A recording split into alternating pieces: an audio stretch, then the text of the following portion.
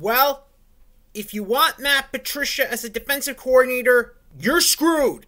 You are screwed. My God. Even I wanted Matt Patricia as Titans defensive coordinator, but if you don't, if you didn't, congratulations, because Patriots saved us the trouble. Because Patriots saved you guys the trouble. I cannot believe this. I was one of the guys that wanted Matt Patricia as defensive coordinator for the Tennessee Titans, and then, and the New England Patriots come right in.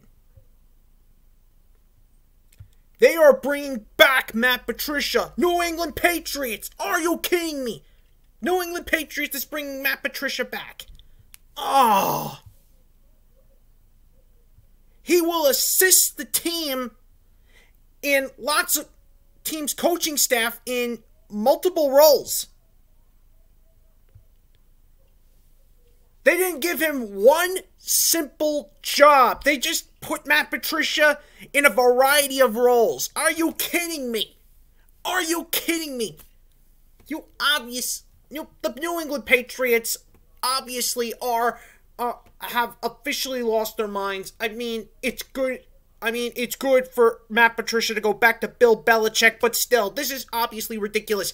Get one job, because you're going to confuse Matt Patricia even more than what he did against the Detroit when he when he coached for the Detroit Lions. This is ridiculous. Ah, oh, if you want, if you're a team, if you're a fan of a team that needs a defensive coordinator, cross Matt Patricia off your list. Because I sure have, and now I gotta come up with another defensive coordinator list. Ah! oh my god. Oh my god.